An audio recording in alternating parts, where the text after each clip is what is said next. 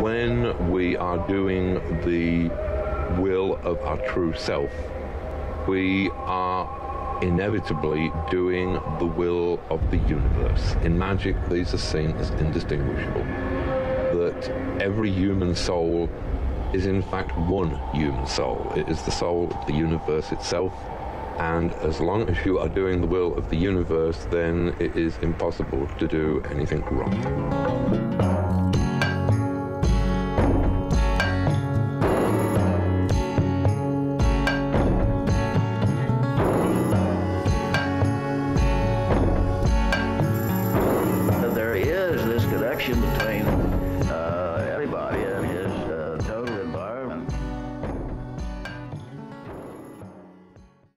Shalom and welcome to Pragmagick. I am your host, Keats Ross. And after a deluge of media setbacks, damn retrograde, I guess, it is my esteemed pleasure to finally premiere my wonderful chat with the incredible Katelan Foisy and Dr. Vanessa Sinclair.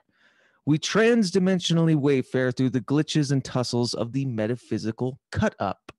Brion Gysin and William S. Burroughs' pioneering form of artistic witchcraft that has inspired many an art witch ever since. So much so that the cut up seems to be the final frontier of art, a destination amidst the Ein Sof where all creativity pummels into itself. This chat was inspiring to say the least as we weave through Katelan and Vanessa's brilliant interpretations of the craft, as Katelan coins it, glitchcraft, and discuss the powerful mental health and healing properties of reckless creation. It's wonderful to discuss things like nostalgiamancy and cut ups as a form of time travel. Or, as Burroughs said, it is a matter of the future and the past being laid out so that you can see both the future and the past from the present.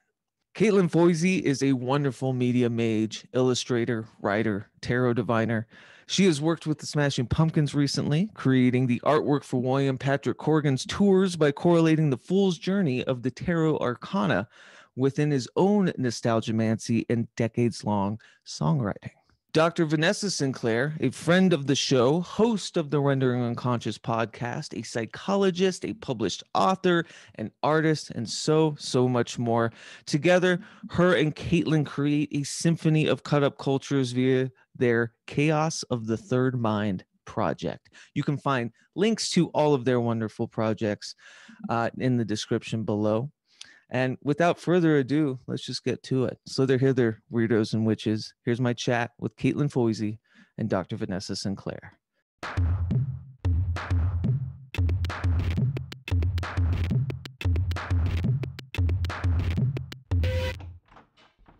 I've been a big fan of both of your guys' work. I've had wonderful conversations with Vanessa in the past, so it's good to get you guys both in the same room to talk about uh, the generation of chaos of the third mind and all of your wonderful works. Um, I've heard that the genealogy of your guys' meeting had something to do with Houdini's grave. Can It you talk a little bit about that?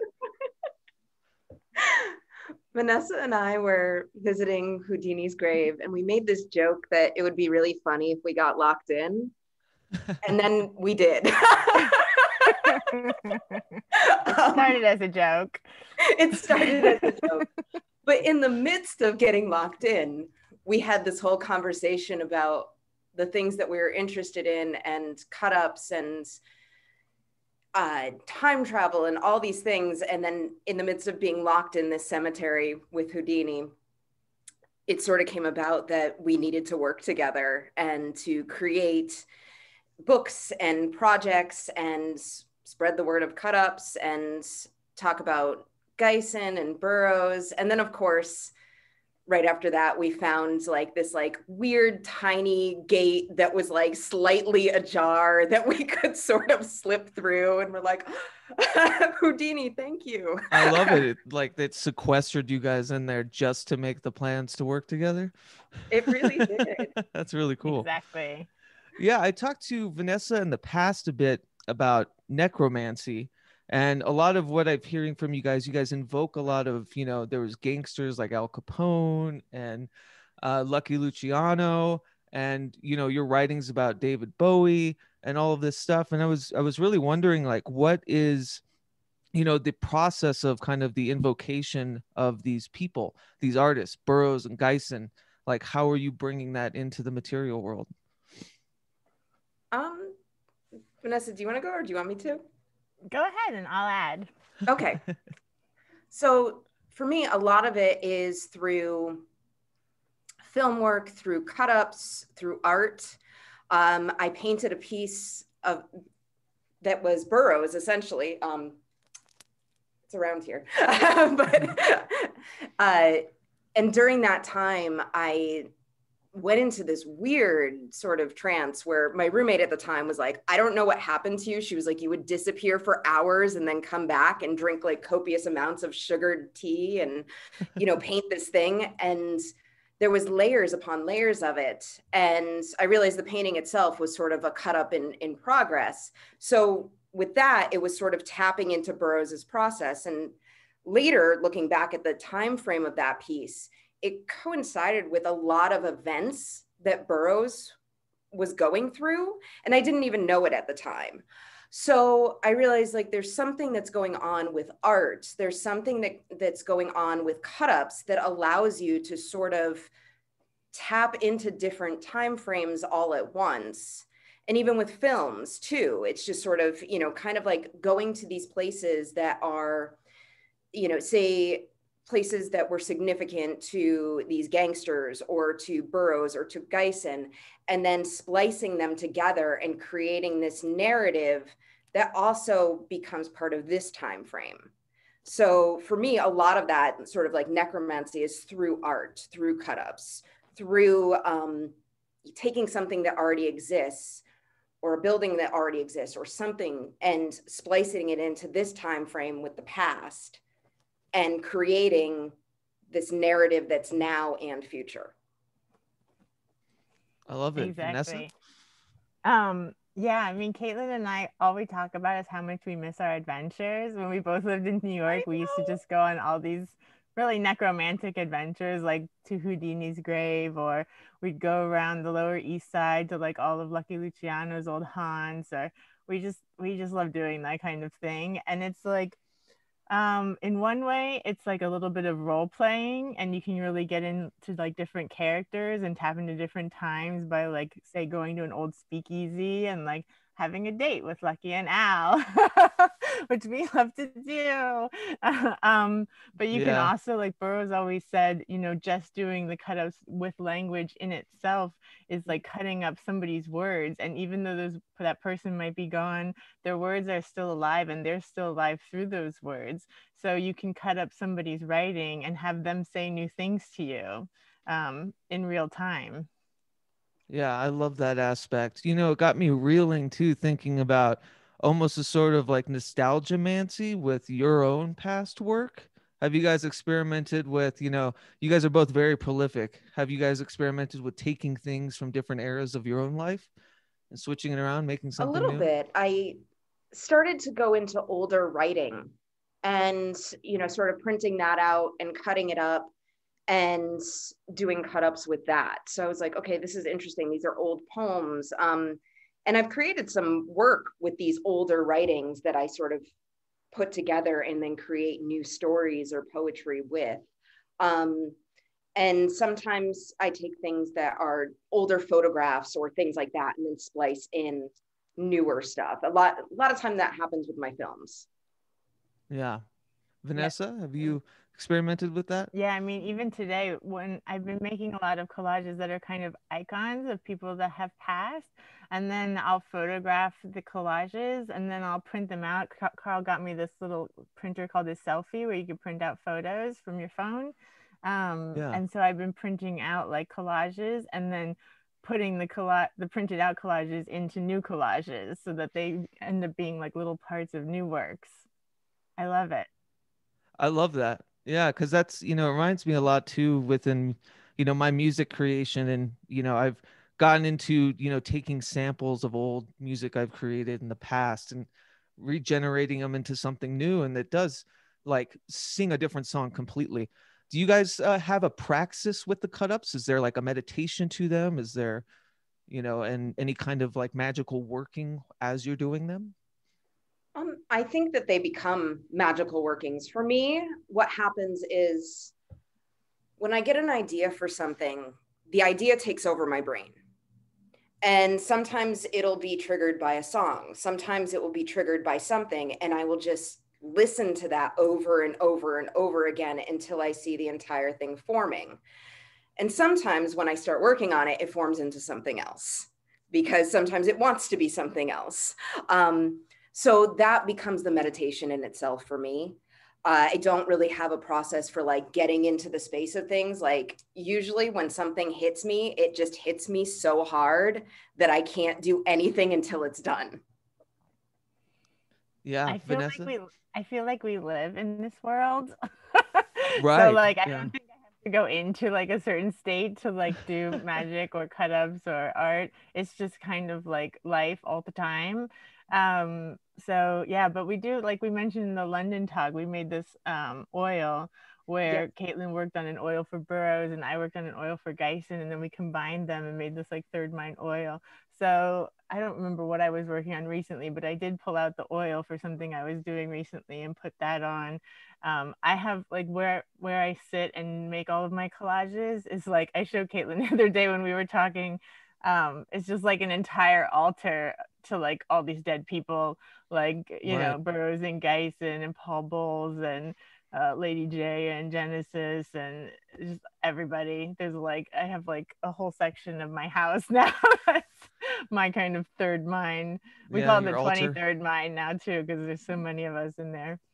Right. then- I and love even that. I painted the the portrait of Lady Jaye for for you, Vanessa.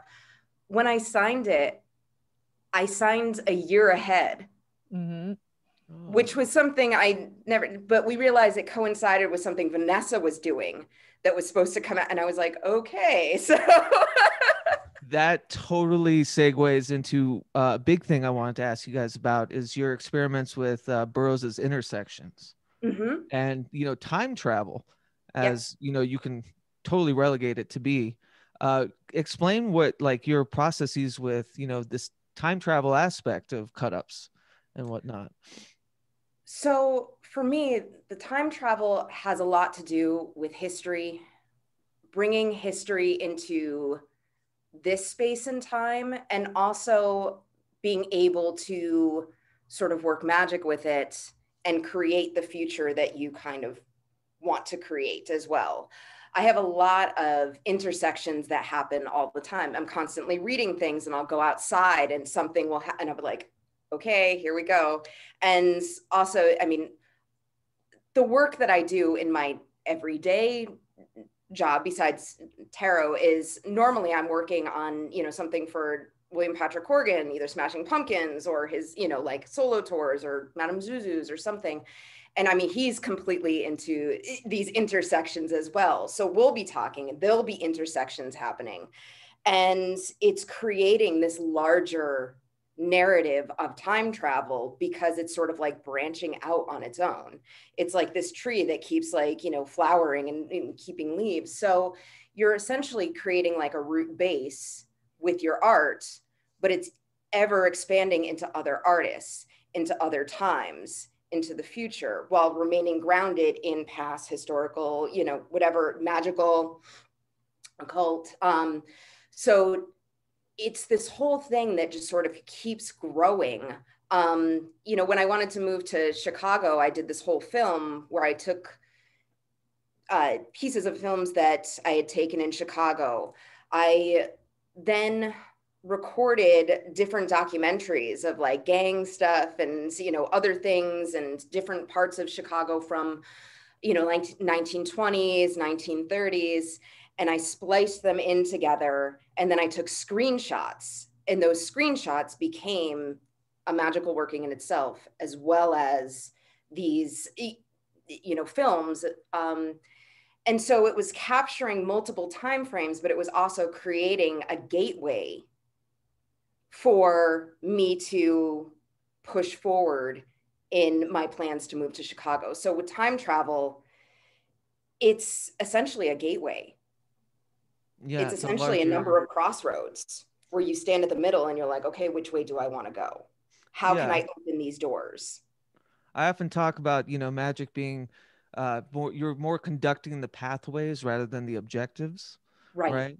So that's yeah that sounds like sounds like a supreme form to do so you know and it's funny too you started working with B- william patrick corgan or billy corgan as he was widely known you know and the uh the my little 13 year old goth heart um but uh you know which is fascinating because you i think you started doing the illustrations for the tour in which he was playing a lot of like classics like it was kind of a, Yes. a time travel you know Absolutely. Yeah. And we tied in so much of the occult and, you know, so many, I mean, we have so many similar in- interests. Like he and I can talk for hours about our interests, but um, it was tying in so much of what I was actually doing at the time, which, you know, we're talking about 13 year old hearts, you know, like right when, when the pumpkins really started to get huge. Um, and I'm like, oh my God, I'm tying in all this stuff that I was you know reading about and sort of you know working on then and into this process at that time where I was like barely sleeping and working like 15 hours a day trying to get all these things done. Um, and so that was almost like this crazy meditation in time travel. yeah, they, I, have- they did a series of tarot cards for that too, and I hope Mhm. eventually that becomes a tarot deck because they're amazing. Yeah i noticed those in the uh in the pictures i've seen or the videos i've seen. Gorgeous like it, it really tied it together. And you know i've always suspected somewhat of a i mean obviously a spiritual you know uh um undertone with a lot of his work and whatnot. So it was cool to kind of see it viscerally you know somewhat of a, an occultnic you know perspective to it. So i thought it yeah i thought it was beautifully rendered. I mean, it really was cool. essentially the fool's journey. Right yeah So the And whole to- the whole tour, the whole show was the fool's journey. That's true. Yeah. Did you guys equate maybe songs to certain tarot cards? And Yes, Like, yeah. I, for the um for today, I did a series of tarot cards for the song today, and he gave me a basic thing. He was like, "So, if you were doing a reading, he was like, what cards would you equate with such and such journey?" And so I'm going to keep that to myself because I don't know if he wants that out in the public, but um, you know, so I chose the tarot cards and I said, "What do you think of this spread?" And he said, "Perfect." So that was how we kind of uh, created that. And then I would just send him, you know, in progress shots. But it's it it definitely was this whole thing of this is the fool's journey. This is the process of which we go through, like in our own psyches. So if you watch the entire show, you're essentially like going along the fool's journey. You'll meet the the high priestess. You'll you know do all of these things. And what it's doing is it's, it's essentially like opening you up. And you know all of billy's songs are pr- basically like downloads anyway. So as you're listening to it as you're experiencing it you are receiving information it's just it's opening you up it's allowing you to time travel it's allowing you to create this cut up moment in your own time and to see you know this progress or this process and uh Vanessa, you know, I don't think I was able to tell you like in person, but you know, my condolences for Genesis and whatnot. I was able to talk to Carl a little bit, you know, about their passing. And you've mentioned that you're working with cut ups, you know, with Genesis and Lady Jaye. Is that sort of a same scenario? Are you finding like in an outward journey, you know, past the finality of life, like through this creation with them and you know, people that you've known and worked with? Oh yeah, for sure. I mean, Yeah. that's for everybody who's sad. I'm like Jen's Jen's still around, so Yeah. Um, and now they're together, so they're very happy. So like, even though we miss Jen, like Jen's great. Jen's happy. They're happy. Yeah. They're together. Um, so that's good. Um, and I would say a lot of things that I learned. Um, one thing I learned in particular from working with Jen and knowing Jen is is how songs are like these little sigils, like Katelan's talking about, or like magical workings that I never really understood before until maybe until you have like a personal relationship with someone who creates that way. Then you can kind of see like when something's going on with them or in your life, and you can see a certain song will like pop up at that moment. It's really synchronous and strange um, and has a really interesting impact. So I never really thought about how magical songs were until I knew them.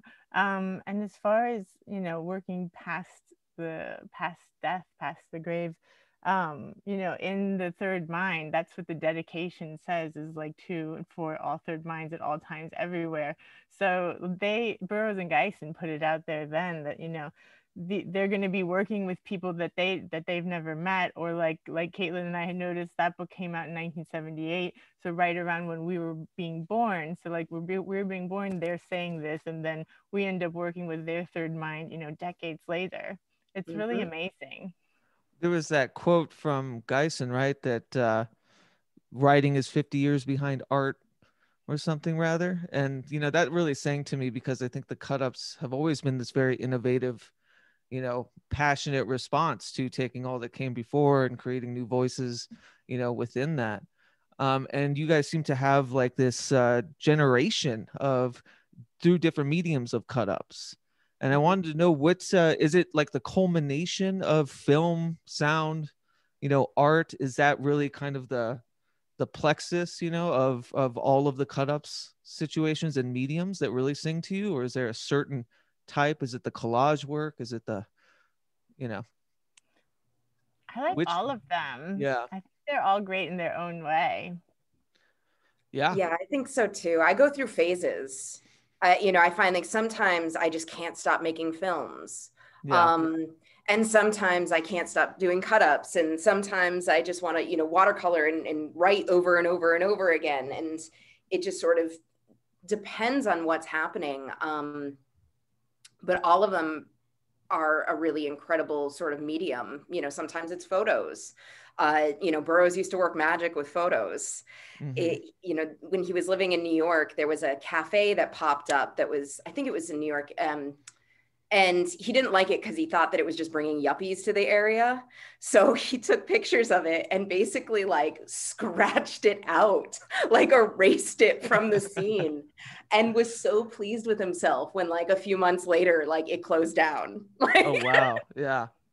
So i love that. You know what really inspired me in my youth too was the the tape you know cut ups yes. and stuff that he was doing. And there's something that sings to me about like the uh, the analog part mm-hmm. of you know cassette tapes and yes. working with samples and that stuff. Is there you know? I guess my question is like, is there a certain tactical medium that feels kind of more, you know, visceral, like channeling through? Is it, you know, like a materialistic touchstone that helps, or is it, it you know, I'm you've just said that it's you guys live it, so it just kind of pours through you. So right. maybe well, answer I mean, my own question it, it does depend. I mean, when you brought up tapes, I mean, I, I love that you brought that up because as a teenager, I didn't go anywhere ex- without a mini recorder. Mm-hmm. I mean, I had it in my pocket at all times. I had it in yeah, the car, taping conversations, TV, all of that stuff. I think I still have those little mini tapes. Um, and I had actually been thinking about getting another recorder that like that or finding my old one. But for me, I mean, part of it is that process. I mean, when Vanessa and I were traveling around doing our talks on cut ups, all I wanted to use was film cameras. Yeah. And I mean, I think I brought like a bag filled with them in like two outfits. and I was like, I had like all these cameras and I was just taking out cameras. Um, but it was so important for me to have like this film and feel myself like you know putting the film in and taking these analog photos. And you know and a lot of the stuff that we have now is digital which is its own magic in itself. Um you know so it really just depends on what i'm sort of feeling or what's at hand. Like if i'm out there and i need to film fast obviously it's going to be my phone. Right. Um but there's so many things that you can do to splice up your phone to make it you know into the the tool that you need. Um but sometimes like i just really want to put my hands like on scissors and cut things up. So for me it's just whatever is kind of speaking through at the time or whatever i have on hand. Yeah.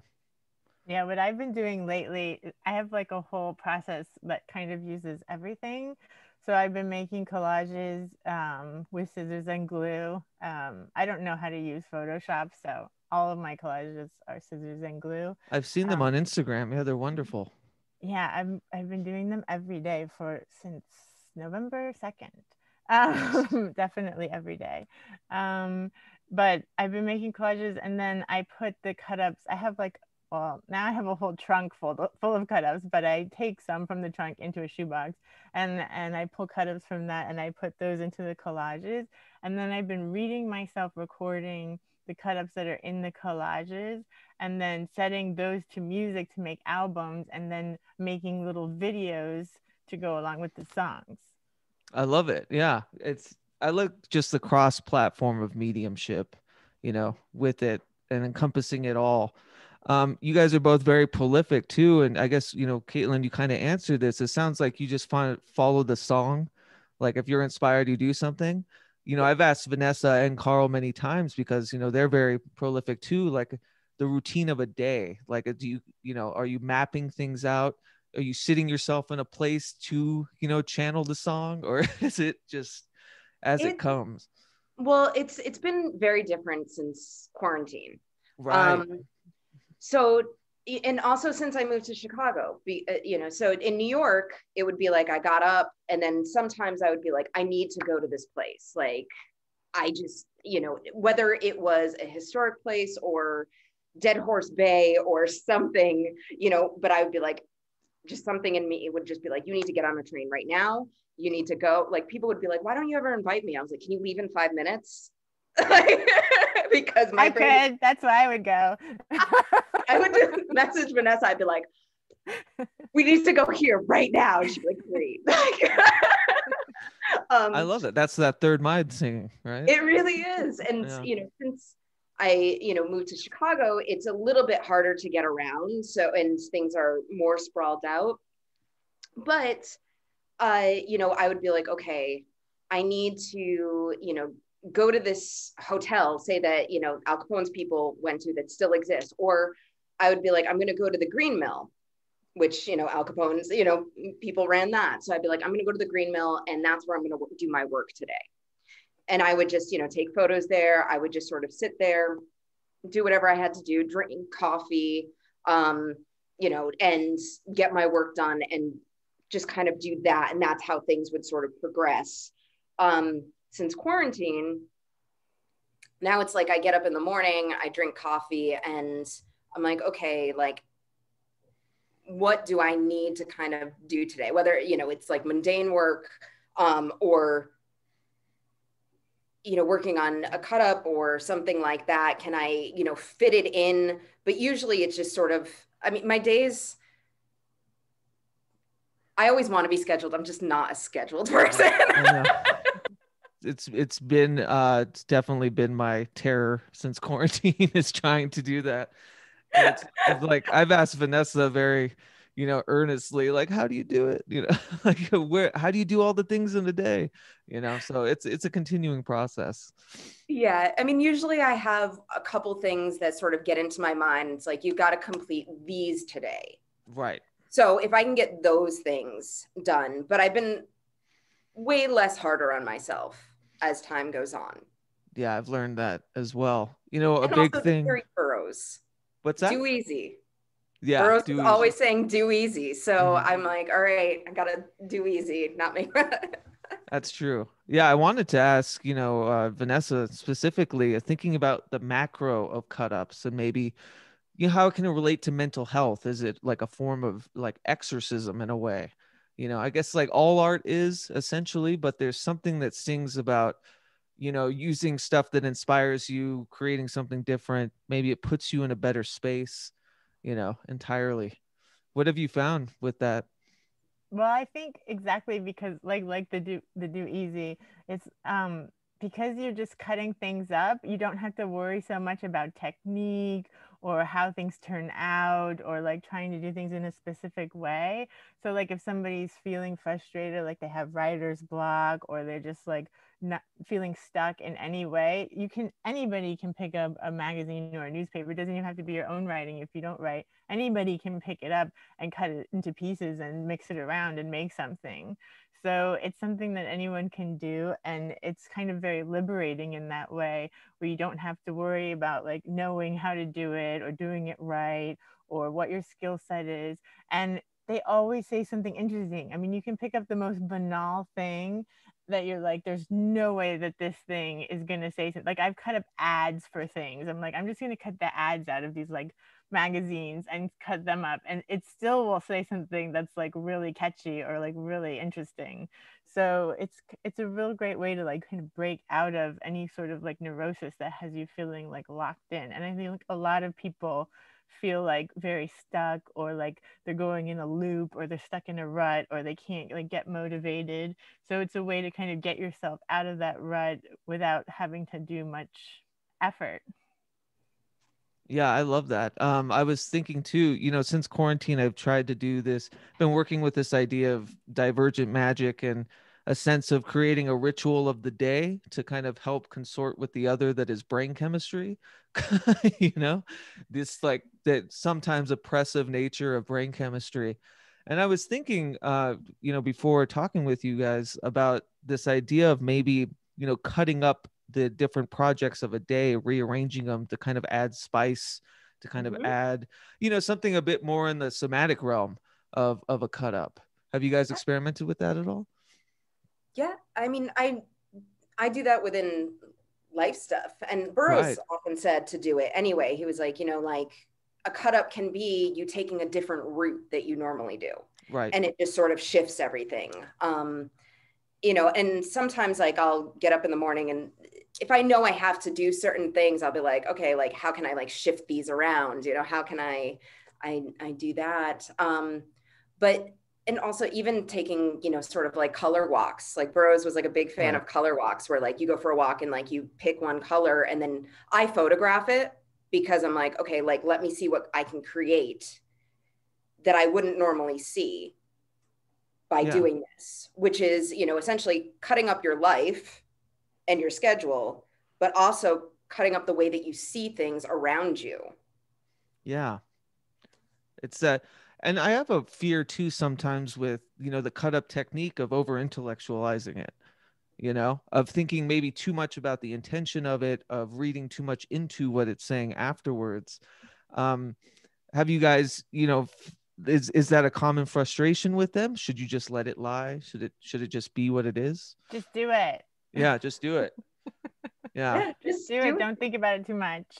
You know, because uh, your guys' video that you did, um, the uh, you guys have done many, but there's one in particular, and Katelan was talking about using, you know, how she was choosing different sections of songs and mm-hmm. throwing them in the thing. I can still, uh, maybe this is just you know the human brain, but I can find pattern. I can hear, like the sinew of you know cut ups in that medium and stuff right. and it's kind of like it's it's inspirational if not a little maddening because you're like why am i focusing so much on writing in, in a narrative structure or focusing right. so much in songwriting in a narrative structure why not you know displace it all absolutely i mean i think you should display because I, I was that's what i was getting stuck on in the video is that you know like sometimes when i do videos and i'm working with music or bits of music i'm like oh but does this like you know, interlock with this one correctly. And with doing it rand at random, it was almost like I got the perfect combination.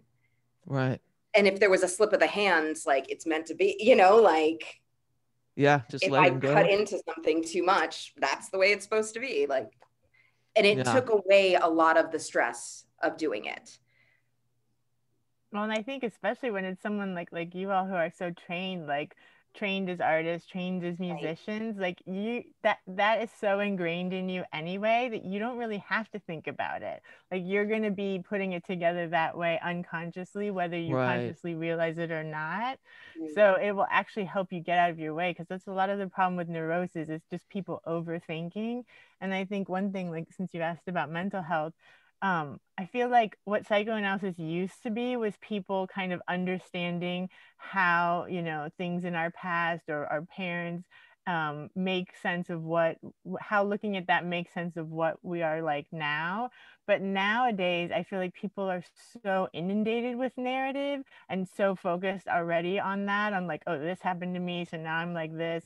They have so many ingrained narratives about their identity and who they are and who their family is and how it fits in the world and society. But i feel like now my job is to actually help people like get out of that so that they can kind of have more freedom because they're so like locked into these kind of roles. So that's a great way to just like help yourself kind of get out of all of that like overthinking and categories and like structures that you're so inundated with already. I love it. Yeah one of my you know continuous experiments with writing or music you know i guess essentially could be considered cut ups but it's always yeah just to kind of uh, not do the usual in a way, you know, of what I'm pre, you know, programmed to kind of see or or spill out. And so the cut up thing, you know, it's it's long tried and true. Um, you guys are definitely a wonderful example of how you can create something, and as a listener as a viewer, as a reader, I can see something quite wonderful in it. It being very maybe disparate from your guys' readings of it or not and it seems a bit like more straight to the source right if that makes sense yeah and you know it's interesting um in vanessa's book she had mentioned jonas mekas who is like yeah you guys just get noises for that um, yeah. um but i used to be an art model and the person that introduced me was the artist that I was posing for. And he was like, Do you mind watching this? He was like, As a as a teenager and in my 20s, he was like, I would have hated this. And he was like, because I was so rigid in my thinking. And he was like, but I need to show you this. And so he showed it to me, and I was like, wow, like this is really changing everything that I do. And this was before I, I started working on films, really. This was around 2008, 2009, I think that he may have showed this to me. Um, but as I saw that and I started watching more, um, Jonas was was saying and uh, that he used to do them in chronological order, and he was very rigid about it and just sort of like trying to get everything, especially as he was cataloging. And then at some point, he just let go, and it became this beautiful series in itself. And you know, so that was like this incredible moment for me because I'm very much a person that's like, it needs to be in this order and I have right. to do things in this matter. And so for me to break that out of my perfectionism, essentially, like, and break me out mm-hmm. of my mm-hmm. brain pattern, uh, I started doing that. And that's when like the films really started to come together. And yeah, someone the other day was being like, I need to, they, they were filling out job applications and doing, you know, the intros and stuff. And she was just like, I can't do this right now. And I was like, cut it up. And she was like, what? And I was like, cut it up. There's something you're missing. Just cut it up and see what you're missing and then rewrite it. And that at least makes it a little bit fun so that you're not in this rigid state where you're like, I'm doing oh, I love thing. that. Yeah. Unlock something. Yeah. Yeah, when That's you a, cut up your own advice. writing like that, you can see you, it will come back together in ways that you would have never made those connections consciously. Like when you cut up your own writing. So if you're writing a piece and you're feeling stuck with it, that's actually how I started doing cut ups. I was working on this book that finally just came out in November, which I still haven't seen, but I would love to hopefully see soon. Um, but um, I was working on this book and I was um, writing about all these artists. And then I was like, maybe I should do what Burroughs says and try cutting up too, because I'm like writing about it and thinking about it and talking about it, but I'm not doing it. And then basically, I've just been doing cut ups for like five years. And then I was eventually like, maybe I should get back to finishing that book that I was working on that started this whole thing. And as far as like the magic of cut ups, when when like Katelan and I since the beginning we're always like, please just try them yourself. Just try them, you'll see. And as far as like how much they've changed my life, I will tell you. When when I got a new apartment and it was 2014, I think. Um, and usually I go through the house and I put salt and I sage it and whatever and I clean it all out right before I move into this apartment. So this time I was going by to get the keys for this apartment after work and I didn't have all of my little tools.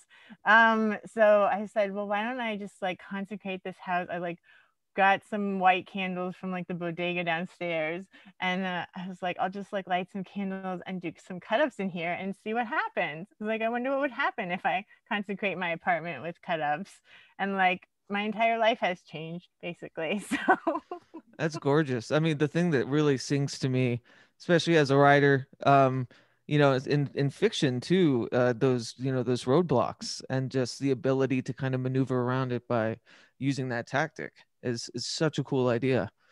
Um, yeah, why why is it that we hold you know what we put on paper in a narrative form so sacred? You know, like I don't know. I mean, even Burroughs was saying like you know just rewrite the narrative. You know, someone asked him uh, a long time ago, obviously, like what would you do if you were stuck on a desert island? And he said, I'd write my way out. I love that. And I, he was like, I would just, he was like, I'd write my rescue. Yeah. And I was like, okay. So every time I get into a bad headspace, you know, I was like, I've got to write my way out. Like, I have to take this time within this day or these couple days, write my way out, cut it up, see what happens here.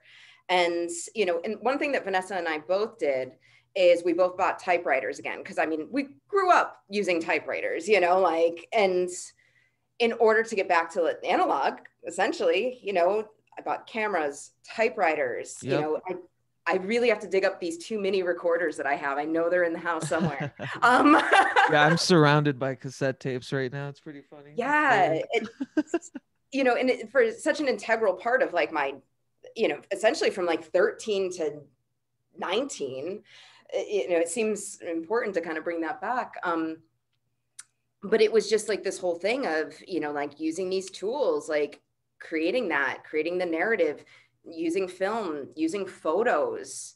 Um, you know, and the thing that I like, I think Burroughs probably wanted to express to people, and the thing that Vanessa and I always want to express to people is anyone can do this. Like you just need a cell phone. Like you you don't have to have fancy equipment.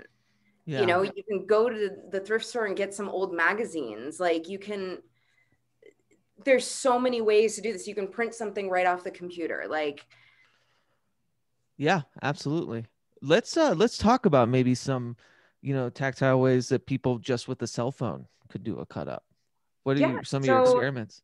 Um, basically, if people want to film with cell phones, I mean, there's plenty of editing apps.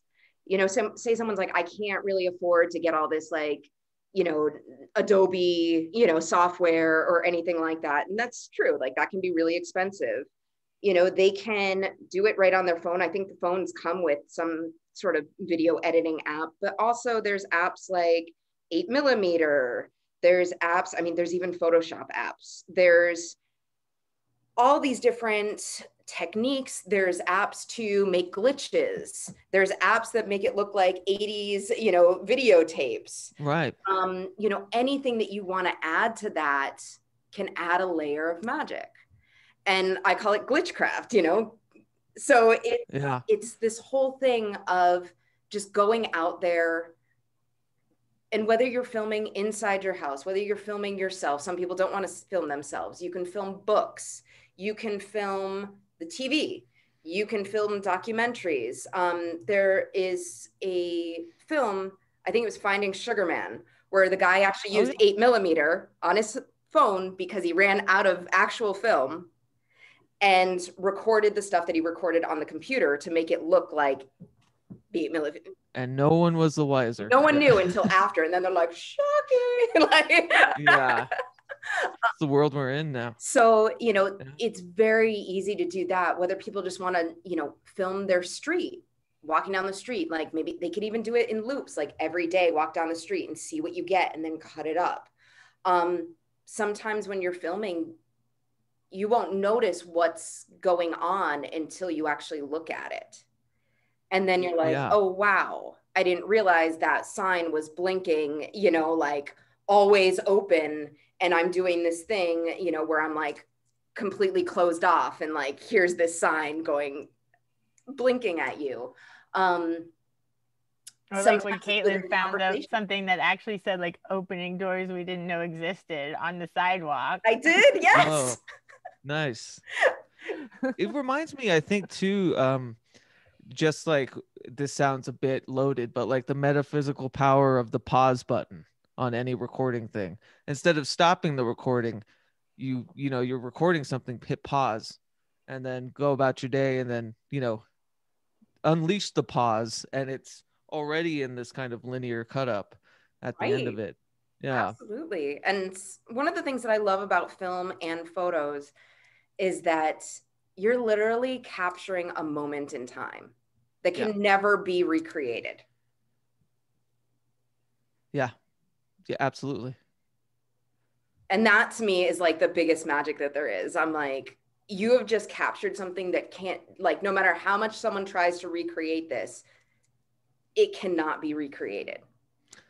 Have either of you translated uh you know some cut ups like maybe compose something narrative from a cut up like I use did. it to It's- inspire something I mean, I, I did do a little bit of that when I did. Um, there's a piece on the Chaos of the Third Mind Right. site where I took a lot of ancestral writing that I did, and I just took out the extras where it says like and the you know, and it became a piece. It Yeah. became a narrative of my ancestry. Um, so it was very interesting that way because I and what I was writing about is is essentially like one of my ancestors that was tried as a witch like two or three times.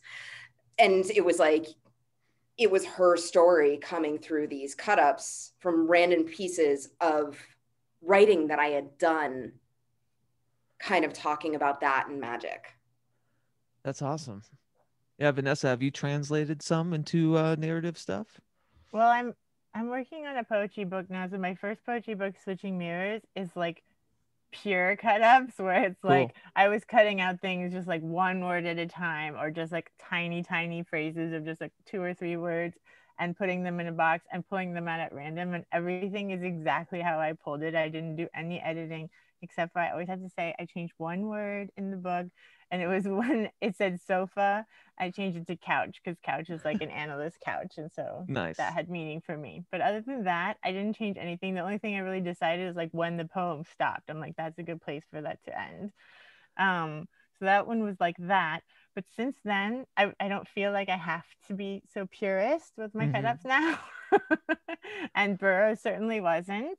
Um, so I'm actually working on like a cut up kind of novel, like Burroughsian novel, where I've when in 2008 when the economy collapsed it's like i had just finished graduate school and done my postdoc and got my phd and got this job and then we all got laid off because of the economic crash and i was like oh what did i do? I just moved from miami to california for this my first job out of grad school. And uh, like what do i do here now in this little town in california? And they're like well you can get unemployment. And i was like what so anyway so um, i was pretty upset and I decided to start writing. And I started writing like all these, these different memories from high school and my early 20s and that sort of thing. So I have like this whole collection of writings I haven't done anything with. So I've been like printing those out and cutting them up and mixing them with other cut up fodder and then kind of like rewriting the narrative based on like those stories, which has been really fun. And then I've also been taking, I tend to, when I write in my journal, I, I re- remember my dreams pretty regularly, like almost every day. So when I wake up and write down my dreams, I, I tend to do a cut up afterwards. So I've been translating those cut ups into poems, but now I'm kind of playing with them more where I'm like, oh, well, this would sound better if it went here and kind of rewriting the poems a little bit, whereas I didn't before. I love that. You know, it's something that shot out for me when you were uh, just explaining that was maybe transposing it in a more of a meta way about your magical practice, right? So like I call mine divergent magic, or you know, when I was talking to Mitch Horowitz, he calls it anarchic magic, and it's basically cut up magic, right? It's t- taking and rearranging from different traditions. Uh, would you guys consider your, you know, practices in the same way? Yeah, Yeah. chaos of the third mind. Chaos Right. of the third mind. Yeah. Cut up magic, witchcraft. Yeah, just cut up witchcraft. Yeah. Mhm, Exactly. Well, do you guys uh, find a, a warring at all with a traditional sense of occultism and and that anarchic magic, that cut up magic? Um, I mean, so with my upbringing, I mean, I didn't really get into any sort of like ritual magic or anything like that. I mean, I grew up very much with folk, you know, folk magic in the home, and it also wasn't, you know, really talked about. So it was me watching everything and being like, "That's weird. I'm gonna do it." Like, um, Sounds but- familiar. um you know so seeing like the occult community like i still sort of feel like i'm like the outsider looking in because i was never really a part of that. So with cut ups you know i always just found my people. So i'm not quite sure i can answer that fully but i don't know. Vanessa what do you I mean, I'm in a similar situation where my magic's always been just very natural to me and kind of Mhm. idiosyncratic to, to me and what I'm doing. And then, you know, at one point I felt like I need to educate myself on different traditions. And, you know, I've been initiated into some and I've studied and I respect them and I love them and they're part of my practice as well. But then, of course, other things I studied and I was like, okay, I, I see that now, but that's like not for me, for example um and i definitely can't i can't get into things with like too many systems like i Yeah. totally respect if people Right. have like this whole hierarchy of systems and like grades they go into and like you know all these different angels and whatever that's Right. amazing but like my, my mind doesn't work like that it's just like Yeah, mine is either. too mine doesn't either I start getting shut down like when I try it Yeah. just like feels like memorization. I've never been good at memorization anyway. I just have Yeah. to like be in the experience. So yes I yeah, I absolutely agree. I'm definitely of that mind. Um, you know, one of the common threads uh, through doing the podcast and stuff has always come up with that. It's always been this conversation about the disparity between, you know, internal magics and traditionalist magic, and it's a funny that there's uh, even, you know, a, a conversation to be had that there's, you know, one institution, you know, greater than the other, because obviously that's not the case in any way um so but i love you know this the idea of the meta or maybe the macro of, of cut ups and using it for you know personal belief systems and personal you know praxis right yeah Yeah, absolutely everything is a cut up. That's why Burroughs said all writing is a cut up, memory is a cut up, like Katelan talked about in that London talk. You know, you Yeah. remember something on the street corner now that street corner is integrated into that memory from the past. Yeah And that's what I think about psychoanalysis too. Like when you go into a session or you go into a ritual or you just go into a meditation, something that kind of takes you out of your day to day flow of life, you know, you're cutting yourself out and then you reintegrate yourself back into your life after having this kind of pause. It's like that pause button that you Yep. talked about. right You know, like taking a pause, going into another headspace, and then coming Mhm. back into your life. And I think that's totally life altering. Absolutely. And, you know, with memories in itself, you know, your first initial memory of something right after it happens is the most pure. And then as you re remember it, it's essentially cutting it up. yeah and- i was just gonna say Yeah. And in merging it with other memories or feelings. So memory itself is an actual cut up. Mm-hmm. yeah synapses and flashes of certain things and rearranging them i know vanessa probably has more insight in just you know how that is formed and uh you know how memory you know in I, I almost said infects. I don't want to sound so nefarious but like you know how it permeates through a person's you know future motives and, and operations. And is there a way have you found is there you know kind of a cut up process that people can rearrange um, these memories maybe these traumas to be you know a bit more you know serving in a positive manner in the future? I, I, I mean, I think what we are talking about before with like the neurosis getting you right. feeling really rigid in your patterns that you've been trained that's essentially what these memory like building blocks are becoming is like things seem similar to other things and and probably from evolution we start making patterns out of things but then we're kind of getting stuck in those patterns. So you have to kind of break out of those patterns or like try to understand them in a different way so that you could make new connections so that you're not feeling so stuck in this one way of looking at things i think that's what psych people are doing in psychoanalysis or these different kind of therapeutic practices that aren't like you know oh make sure you take a walk like more prescribed types of therapy Sure. Yeah. I, you know, um, I was just gonna ask too. The, I'd be remiss if I didn't ask how quarantine was treating you guys, especially considering, you know, mental health. And it sounds like cut ups should be like sanctioned to everyone that's struggling in, you know, very stagnant kind of space. yeah it's you know it's it's had its ups and downs quarantine um you know i was actually going to write a blog on like how to deal with depression during quarantine. I'd read it. because you know the past few weeks i was like oh i'm in my down space. This is this is not great you know? Um and then i have to start thinking about okay what can i do to get myself out of this? Like all right i'm gonna have to do something that's sort of creative. Maybe i can do like another painting for this wall you know and again that's a cut up in itself you know design. Designing your space is a cut up rearranging um and also you know just making sure that i have certain things that i do on a daily basis that i can check off. So like i said i'm not very schedule orientated like you know i have appointments and things like that that i can keep but if i have certain things that i know that keep me in check i try to do those like say three things every day to kind of but then if they start feeling like a job and work then i try to switch them into another few things Yeah. that I can kind of because I'm my mind is something I constantly need to be stimulated.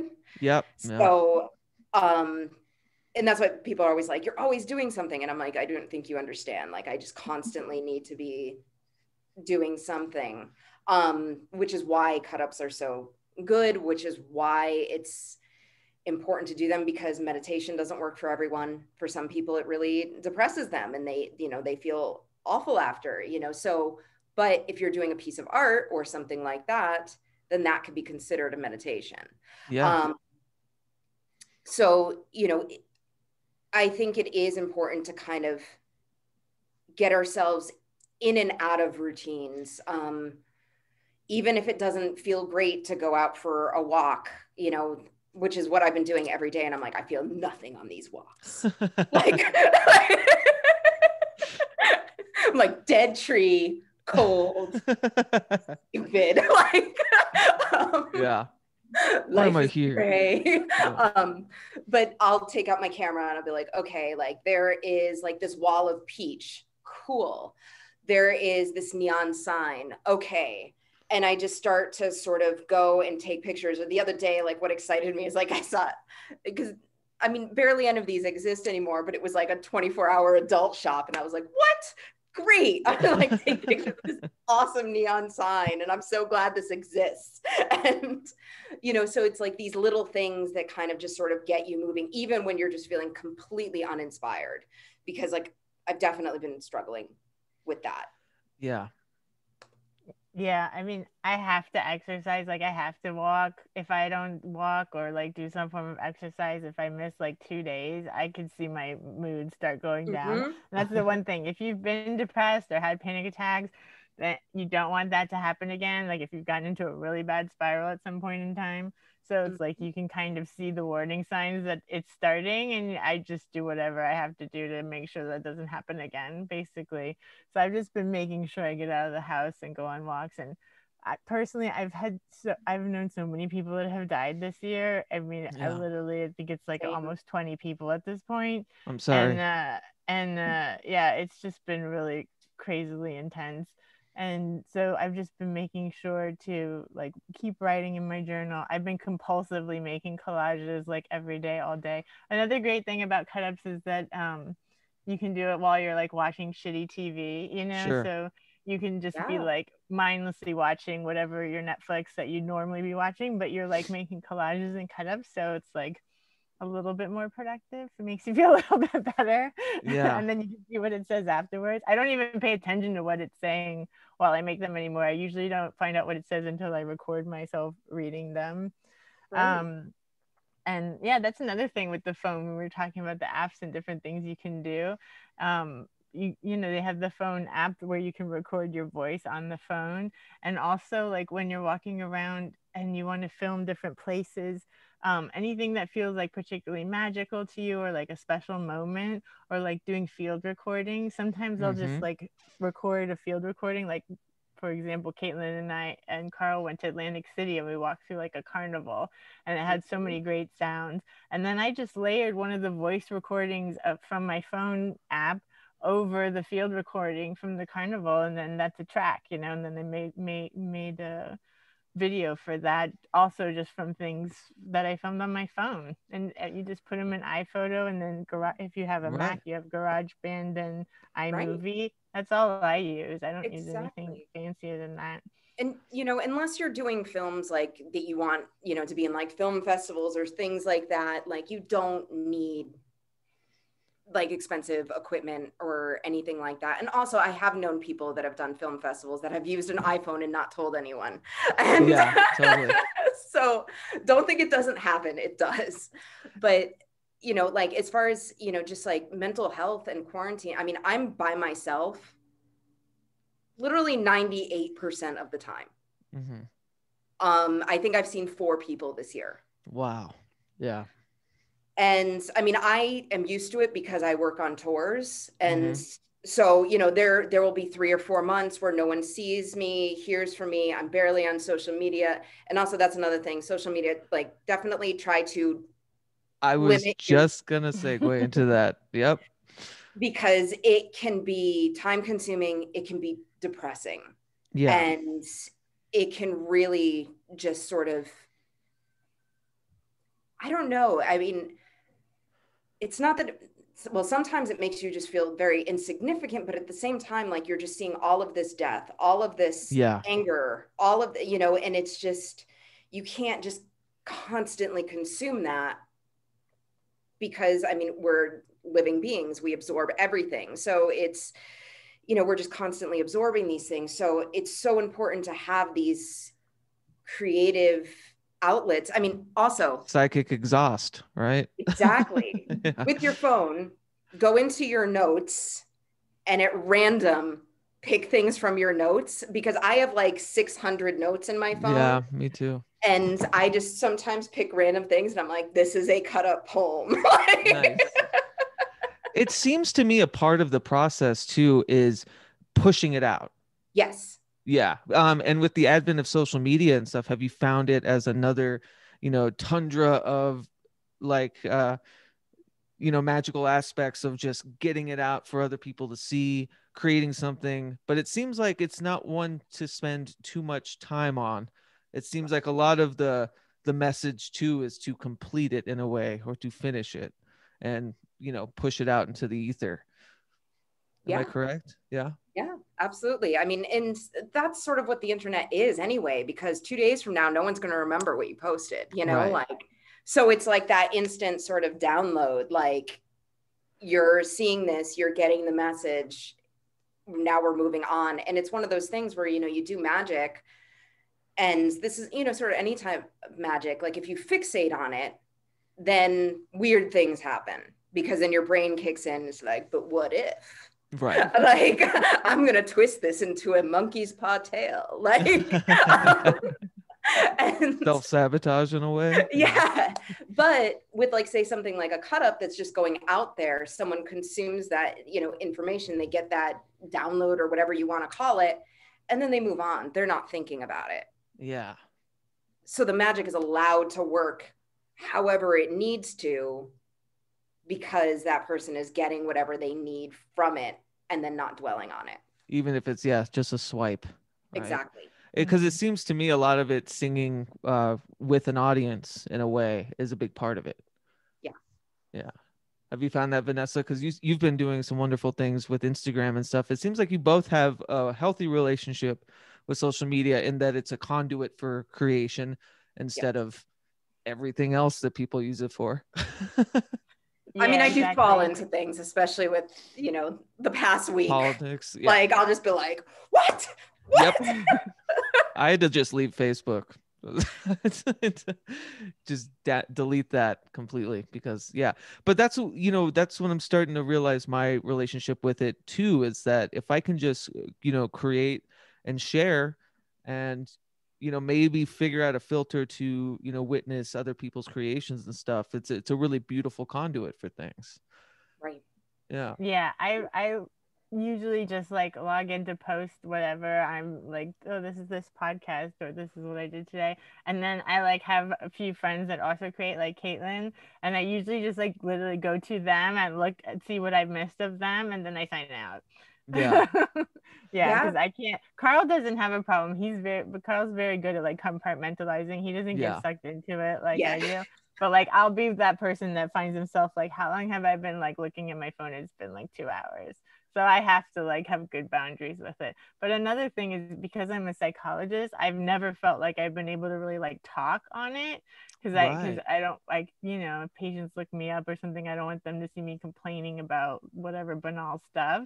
So I've never really posted anything like that. It's always been kind of like work or art related. yeah That's that's Mm. kept boundaries around it as well. you know and like you know burroughs' big thing too was look around and stuff right and like pay attention um and it's Yeah. funny now that you know most of us or and i'm using the royal us like stuck in our phones outside all the time and it figures out that's the that's the safest way for a productive relationship with social media is to experience the art of others Yes. you know? yeah Yeah. and also i mean james recently i mean he's never on facebook but he recently posted like i think it was like a couple months ago that he is never on facebook. He doesn't check his, the messages. And he was like look like burroughs probably would have been horrified by social media. He was like this is like everything that he was not about. Yeah. And- Control.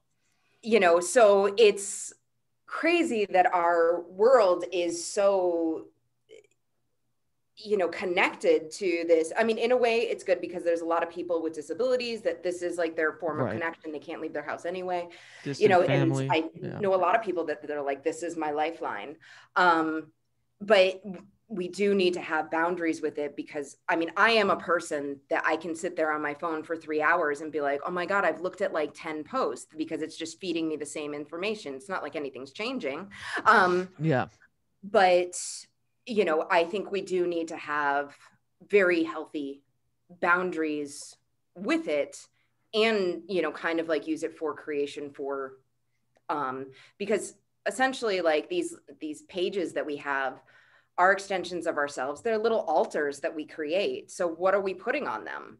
Yeah. Yeah yeah, what absolutely. are we putting out into the world? yeah and it's you know it's sad. It's you know getting people to listen to an album or watch a video is you know a million times harder than someone to read a facebook post you know so it kind of inspired me today i want to try something that's sort of cut up with posts you know people's posts and see what kind of uh what illuminates out of some vitriol you know Absolutely. Vanessa and I used to cut up each other's messages that we would send to each other. We would just Yeah. print them out. I'm sorry if you hear drilling over there. They're they're working on the apartment next door. oh no i don't hear it um don't hear it either. what uh, are there some modern kind of cut up artists that have really sang to you guys that are doing some innovative stuff with it Um, other than you two There's We're only the us. best, Yeah. clearly. um, I mean, people that I wrote about in, in in my book, I wrote about it in much more of a flexible way. Um, Mhm. So it doesn't necessarily have to be like Burroughsian, Geisian kind of word cut ups. But I mean, like I even talked about like Joe Coleman and how he puts all of the different like little images around the people that he's painting in his portrait and it's like all different scenes from their lives or their past or like people in their lives or events that were going on in their lives and how that's kind of this like memory collage that he uses Mhm. um i wrote about val denham and how she integrates her dreams into her into her paintings and how she like dreams about having uh, like an creating an album or finding one of her albums in a store and then she actually will make the album that she found in the dream um, oh, cool. So that's really amazing. I love that. Uh, yeah, little Annie, Annie Bandez, um, she also known as Annie Anxiety. She does music, of course, but she also makes paintings and then collages into her paintings as well. So there's a lot of different um, ways to kind of integrate the cut up and then of course there's people that do it more like with performance art mm-hmm. um, where you can actually like cut up your identity like bowie of course cut up his identity and so did Gen and Jaye and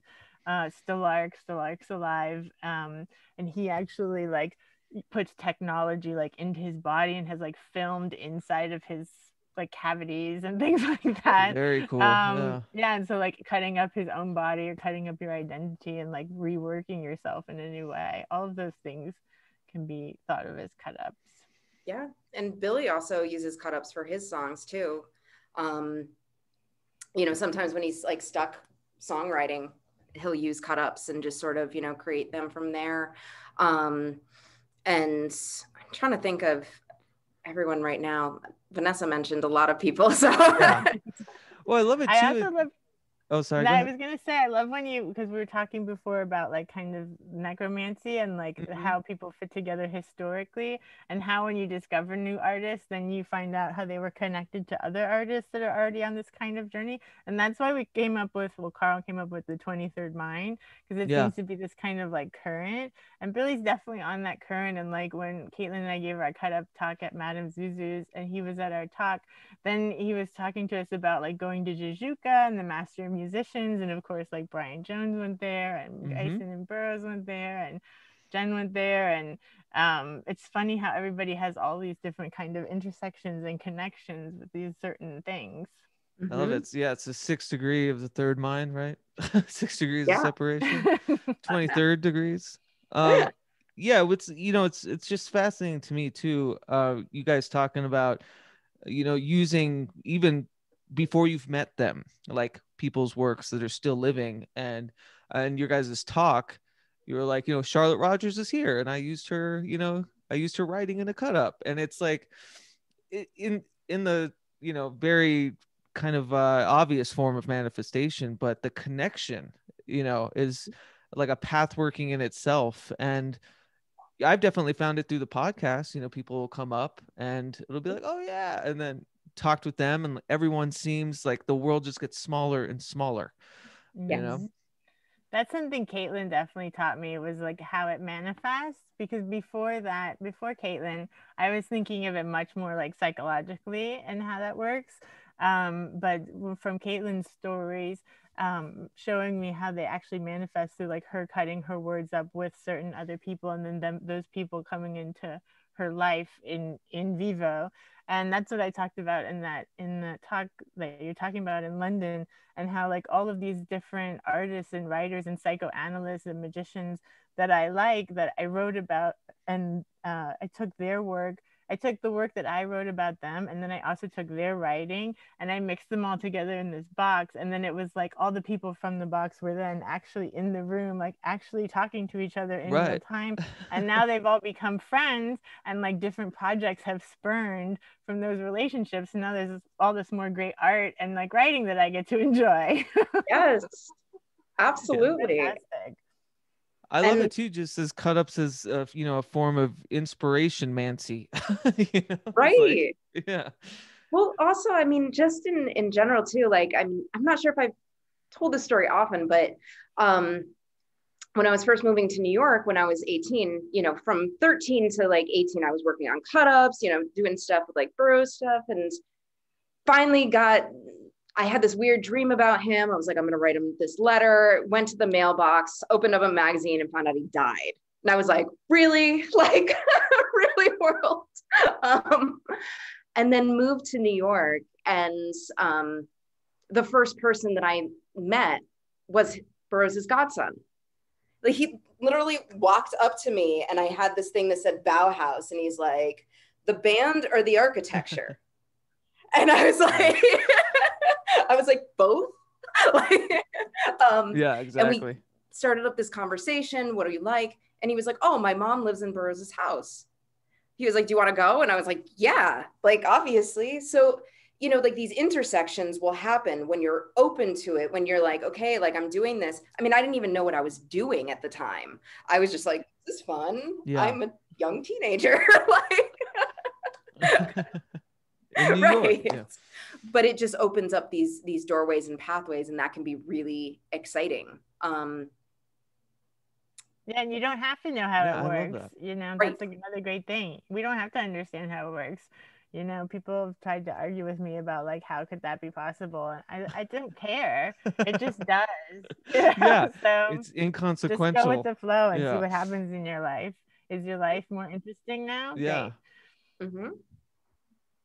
Yeah, I love that. Yeah, these, you know, I have a, uh, it's something I struggle with too, is the over intellectualization of, you know, these otherwise, you know, grand kind of gestures, magical gestures and stuff that happen in my life. And I'm finding more and more that it's like, it's inconsequential if it's like real or not, or if it's conducted, you know, from my workings or not. The fact is that it happened and to read it as Mhm. such, you know. Yeah, and I, I mean, I just, I just understand that I'm just a person in the- in a multiverse, and there's no way I'm gonna understand Mhm. how this thing works. And I, frankly, find it absurd that anybody thinks that any of us can actually understand how this world works. It's like it's not possible. So just like you know, make your own observations and try to enjoy yourself while you're here. I'm sure that's a common frustration in psychology and psychoanalysis, right? Yeah, I hate when people Yeah. try to, to really like um pin things down. It's not possible. And if anything, that's what psychoanalysis has shown me and the world is that like the more you try to pin things down, the more there's always going to be like loopholes or ways around it or things that subvert it. Yep. And that's exactly what people do. That's what, you know, this idea of hysteria is like the more you categorize and label someone, the more they're going to subvert that categorization. And Lacan even went as far as to say that we have a super ego just so we can subvert it. Like, like I love it. The rebel ego. put that conscious there to tell us what to do just so that we can subvert it. You know, that's just Right. how people are. So yeah, you're you're giving me flashbacks of a recent argument I've had online. The the empirical nature of consciousness. And I was just like, why are we why are we arguing about this? You know? it's like it's not empirical. It doesn't mean it's not real. Like, uh, yeah, it's just uh, you know, and that's the other advent of social media too, and like all of these mediums and you know the between like the metaphysics side, the psychology side, all of this, and it's. I've often said that you know on its worst day, that magic is like a great psychological trick, and on its best day, it's you're communing with the other. You know, like it, it doesn't have to be one or the other and you uh, should be able to change your mind about what it is you know often Right. yeah are you guys working on anything soon like in the future is there another chaos of the third mind project coming Well, we decided to go back into our book and sort of add the new things that we've been working on to it and looking to see if anything that needs to be reworked or recut up or, you know, so we decided to do that. Um, I definitely is this kind of like a final edit in a way in a way, yeah. So it, we were just talking about it the other day. It just sort of popped into our heads, like we're like, we need to go into that, and and because there's so much that we've done, and it's like shifted so much that it would be nice to have some of that shift in there. Mhm. Um, and you know, for me particularly, I'm going to be starting to film again in like the next few weeks. I still have some work that I'm sort of finishing up right now, um, but I haven't filmed in a while, and I feel like I definitely need to kind of get back into that, um, and you know, work with that that medium again. yeah and you're still doing tarot readings your patreon i know is like uh really taken off you know your interconnectivity with things i mean with Yeah. people Well, with Vanessa on her Patreon, I took mine down a while ago. So oh you did okay Yeah. I was wondering because, like, yeah, you was talking about you still do tarot readings, though. Is that I more? still do tarot readings. Yeah. Um, most of my time is between tarot readings and uh, I'm almost always working on something for Billy. So I love it. Yeah. like I gotta- said, the 13 year old goth heart in me is like awesome. But um uh but yeah so in between i try to take on other projects and and things like that but i am still doing uh tarot i did the the hoodoo tarot with Tayannah Lee McQuillar and I saw that. It's gorgeous. Yeah. the Sibyl's Oraculum, which the Hoodoo Tarot is a cut up in itself um, because there is collage aspects in there. There, it, because of the time frame that we had, um, I because I was working on the Smashing Pumpkins tour, and then I had to go straight into the Hoodoo Tarot, so I only had three months to finish the the 78 cards. So I was like, what is the do easy method on this? And it was to paint parts of it, to collage parts of it and then merge them. Um, so it's a cut up in itself using historical photos uh, that were, you know, um, in the public domain and also painting and and uh, things like that. So Yeah, they're lovely. Uh, yeah, really pretty, really pretty cards. Vanessa was mentioning you may be doing kind of your own tarot deck. yeah, I am working on the concept of it right now. So I mean, there's so many different styles that I do that I'm like, Yeah. what do I focus on? But um, I am talking to you know like a publisher, which I've actually been in talking to for like four years now, um, four or five years now. But we're trying to like figure out because it was always timing before. It was like Yeah. we would talk, and then I'd be like, oh, I'm on the, I'm, I'm on this fantastic project now, and I can't do anything. Um, but so I I think that there's just going to be a conversation, you know, between us seeing what, you know, fits their needs, what fits not my needs and go on from there. Yeah. And Vanessa, you just had a book come out, I think last year, right? The Yeah, it came out November Violence? 15th. yeah, and uh you're working on another, you said a poetry book. What else is in store? Um, yeah, that book, the Scansion and Psychoanalysis in our book, that's that's basically exactly about this. It's about different artists that do cut ups and how you I try kind of explain psychoanalytic concepts through the way that the artists do their works so that it could maybe be more interesting to people that like art and won't just be read by people that like psychoanalysis. Um, so I'm, I like to get psychoanalytic ideas out to like more people. So it's written it. in a way that like people that like the art can understand. It's not like a, full of a bunch of jargon and stuff like that. Um, so that's the latest book that took up the majority of last year. Um, and so I don't feel like narratively writing for a while after that. Um, so now I'm doing, yeah, much more cut up writing. Um, if I do write something like linear, it's like a, just a short scene and then I cut it up. Carl and I, Carl and I have our Patreon, and on that we've been writing a book together. yeah, um, I love it. The exquisite corpse. style Yeah. yeah where we we started we both wrote our first chapter without seeing the other person's first chapter so he started writing like this like noir detective novel about like burnt corpses that the that they're working on a case on and i started out uh, with all of us all of these 23rd mind characters in Jajouka, like smoking with the master musicians. So we've had to like bring those two things together and make them like fit, which has been really fun because it's um, been really interesting. And I actually named my main character the same pseudonym that I named myself when I wrote those pieces in 2008 that were like scenes from my teenage life.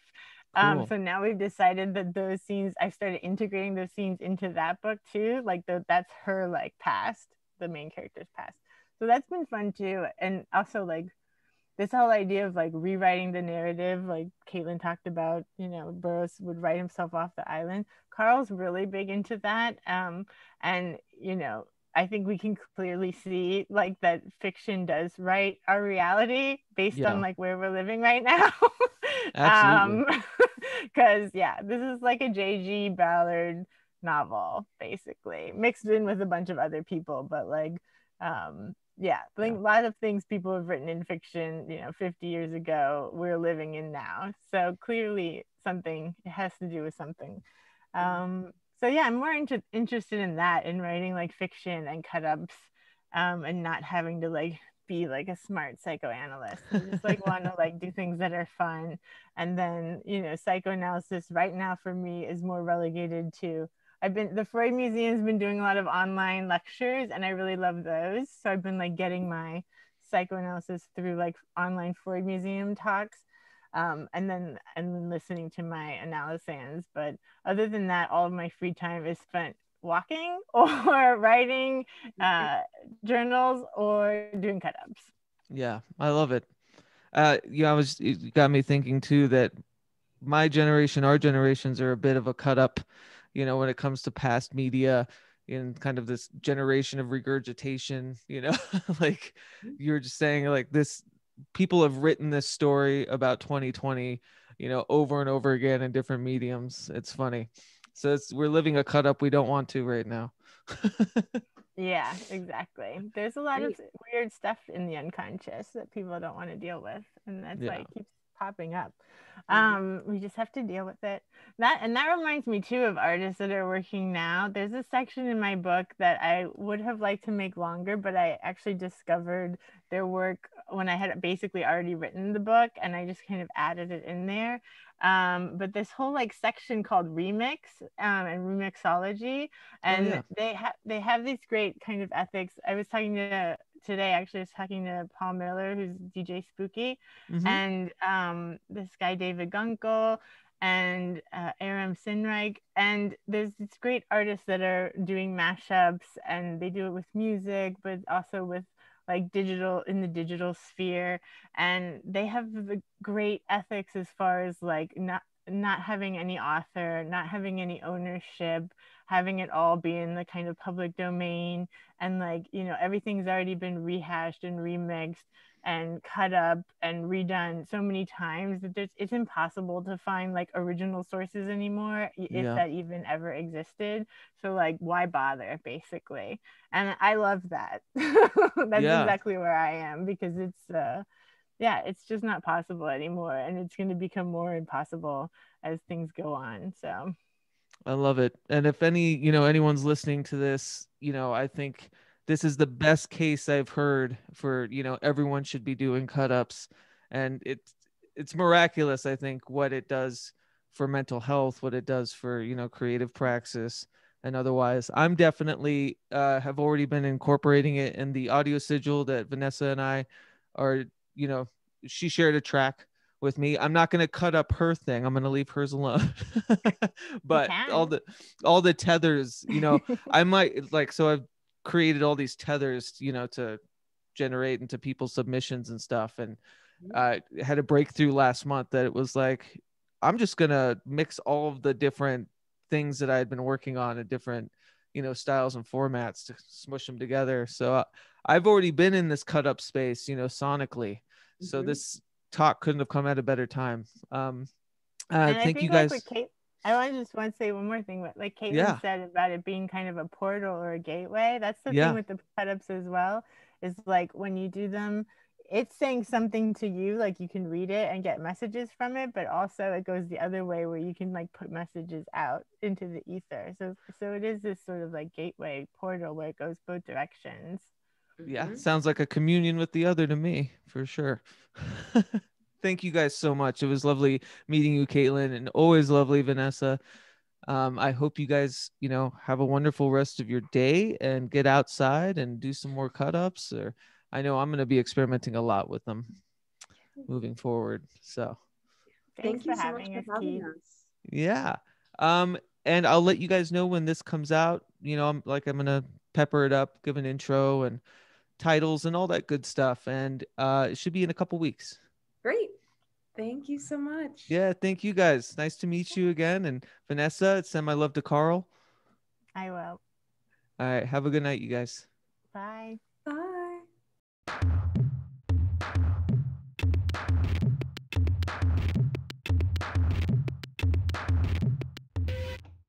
As per usual, the art for today's episode was divined by Eric J. Millar of Outlet Press's Bottomless Bag. You can purchase the brand new Communal Oracle off Amazon. There's a link in the description. Support our artistic collective, We the Hallowed. Support Eric J. Millar's Oracle or oracular uh, series of ongoing wonderful uh, oracle and bibliomantic works. And please send them some love. I want to thank Katelan and uh, Vanessa again.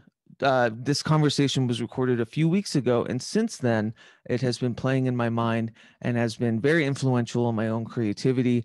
As I mentioned in the intro, there's been some media setbacks, there's been some mental health setbacks, but you know, this idea of uh, the cut up as a way to break through the molds of uh, regression, of in, like stagnation, has been uh, truly a wonderful experience through the rough and tumble of this whatever retrograde. So uh, please like, comment, subscribe, blah, blah, blah. You know the deal. Uh, clicks help the algorithm. So clickety clack if you don't mind. And uh, yeah, there's more to come from me. I might be taking a small break to finish this big We the Hallowed audio sigil project, but I will always keep you in the loop via Twitter and Instagram. All right. And the immortal words of We the Hallowed, haunt on.